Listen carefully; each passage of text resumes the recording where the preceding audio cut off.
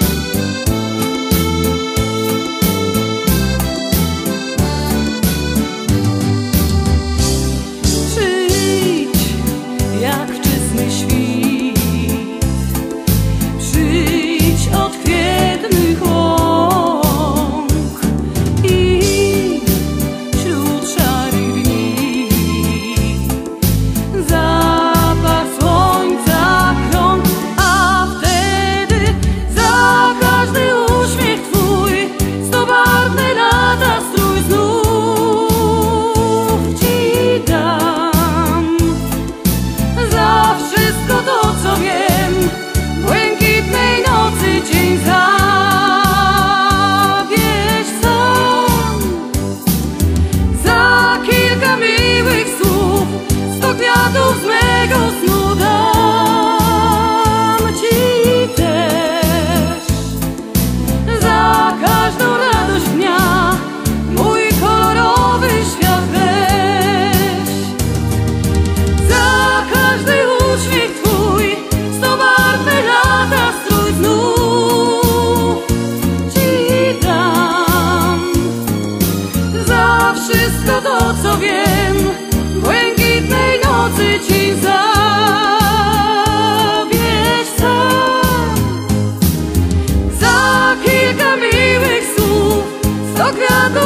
ptaków z mego snu daj.